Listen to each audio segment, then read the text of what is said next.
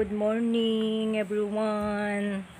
Ah, nandito kami ngayon sa San Vicente Ferrer. Kasi Boriksay, Malagutay.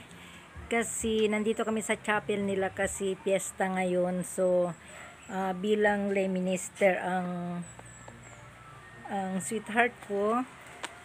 So nandito kung nandito kami ngayon ito ang munting chapel nila. Ah, kahit na maliit pero maganda yung ayos.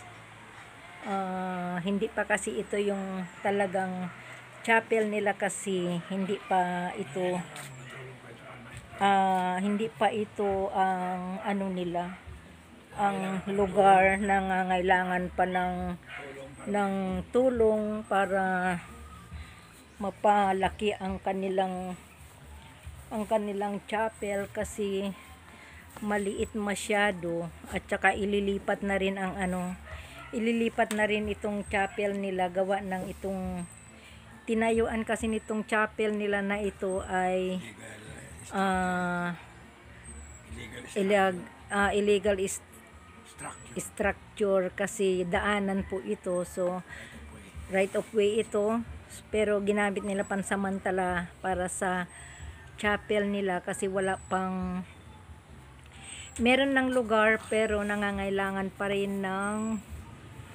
pondo kaya nung linggo meron silang pabinggo dito.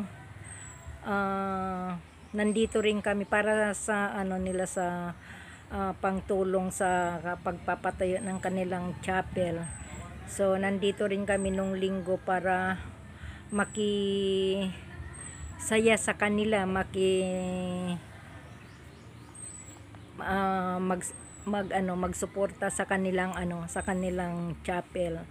As bilang lay minister ang aking sweetheart. So kailangan din siya nandito para rin maka tulong din siya as bilang lay minister at bilang isang ah, kagawad ng aming barangay ang sweetheart ko. So